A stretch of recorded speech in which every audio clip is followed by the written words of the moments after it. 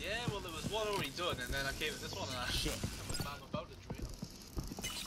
Oh shit. No, and the other one, this one was satisfying. No, this one. This one was brilliant.